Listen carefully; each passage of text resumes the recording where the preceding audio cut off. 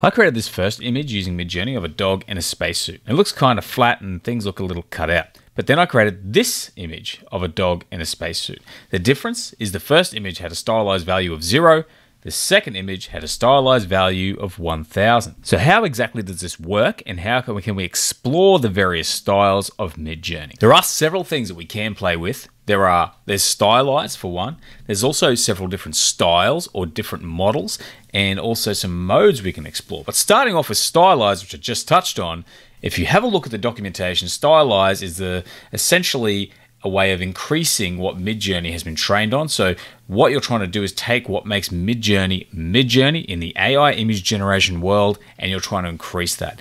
The default setting is 100. But when you compare 0 to 1000, you can see how there's a big difference in quality because we're favoring what Midjourney is known for. So how do you use it? It's pretty straightforward. Go to Imagine, type in your prompt, and then type in dash dash stylize 0 if you want to go to 0, or 1000 if you want to go to 1000. Let's type in 0, and then we'll compare this image at a few different levels. And as before, you can see 0 looks pretty flat and uh, lifeless, but still impressive considering it's AI art. 100, this is the default, a big step up already, but 200 starts to add in a little bit more personality. However, the banana's gone and we're starting to lose some of our prompt. Here we have the banana with a little bit more personality at 400, switch up to 600, we get a little bit more dramatic. And as the scale goes along, as it gets to things like 800, it's a little more just different and it's harder to track. And at 1000, there's literally no banana at all, just coffee. So we get some pretty interesting imagery, but not necessarily strictly adhering to the prompt. So it's not simply a matter of higher is better, but zero does seem to take a lot of the style out of it. What I actually recommend you do is to test. When you're creating images, test a few different levels of stylize to see what you get. However, the power of stylize is actually combining it with a few other methods. But things can get weird, and by that I mean using weird mode with stylize is another great way to enhance your results. So let's try the monkey again, but this time I'm to go dash dash weird for a level of zero. And what we get is essentially the same. This time, crank the weird up to 1000, and now we've got something that's really strange. But again, what if we add stylize of 800 to the end, and now it's a lot more artistic and very sort of funky looking at the same time. So what exactly happens if we compare some of these different levels? Starting with the weird of 500, with 400 stylized, we get something that's pretty quirky. But you crank that stylized up to 800, and it does start to get a little bit weirder. Same weird level, but this time we're going to stylize 1000, and again, just a bit strange. That weirdness has kicked in, but not too much. Now I have a weird of 1000, I think they're definitely looking very weird at 400. Stylize of 800 now, and you can see it's really starting to get strange. And now when you add the stylize of 1000, this is an incredibly odd picture. Well, let's crank the weird up to max of 3000 with a stylize of 400. A very strange picture indeed. A stylize of 800, something completely different, but we max out weird and stylize, and we get this very strange kind of weird Batman ape picture that uh, is looks low resolution and is just completely absurd.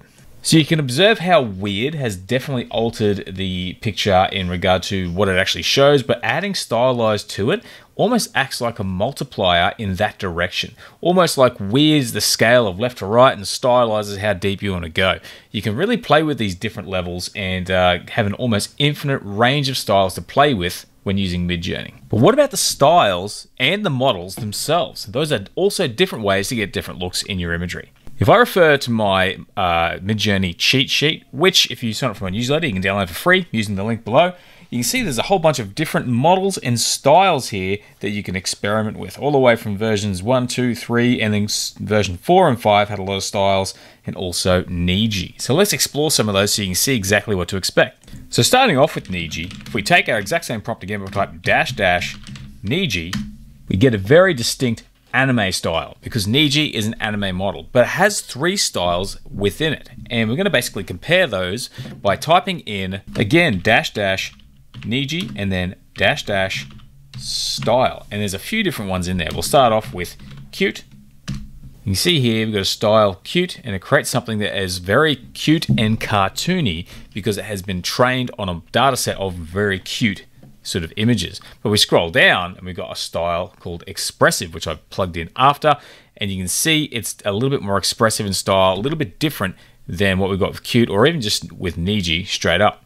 And then we've got Scenic, which is designed for scenery, but adds a lot of detail and a lot of depth to the image, including some glows. So you can see by experimenting with these styles, we can get different anime styles, and you can even then take it further by throwing things out like a photorealism or even playing with stylized to mix it up, similar to what we did with weird mode. Now the style command also works with versions 4 and 5 and the sort of various subversions within that. If I go to version 5, straight up I can go to version say 5.1 or 5.2 and with version 5 I can do v dash dash v 5a if I want to choose version 5a but then we can add dash dash style raw to the end of that to get a different result again. That takes away a lot of the opinionated nature and gives you a lot more control with your prompt, but you may not get good results unless you're really, really spot on with your prompt engineering. Now, moving on, we also have version 4. You type in dash dash V and 4, and you actually have another style, two styles actually. Version 4A, which is dash dash style 4A, or dash dash style 4B, which are two different styles of version 4. There's also version there's also style 4C, but that is actually the default style, so you just simply have to type in version 4. But there's actually a hidden style called cursed. So you type in dash dash V 4 and then dash dash style cursed to get these cursed images that are supposed to look a bit creepy and weird and it's kind of like a horrified version of what weird mode is and I think it's a lot of fun to play with. But now getting away from the styles I do want to finalize on something else. Using versions 1 2 and 3 is also another way to get a completely different style because versions 4 and onwards the images look very coherent and very sort of uh, easy to see exactly what it is but the older versions have this can sometimes have this creepy effect to them. They have this really cool imagery because it's not quite as advanced. We get more mistakes and more odd sort of things added into the mix. And I actually think it's a cool way to explore the different styles of Midjourney by going back to version 1 version 2 or version 3 and seeing what results you get. You get some pretty creepy images in my opinion and you can have a lot of fun playing with those old versions. And also there's the test models dash dash test dash dash test p. They also have dash dash creative that you can add to the end and get some more results. These images turn out pretty good, but um, you can see how uh, by playing with these different models and styles, you can really sort of you've got a really diverse range of looks you can go for.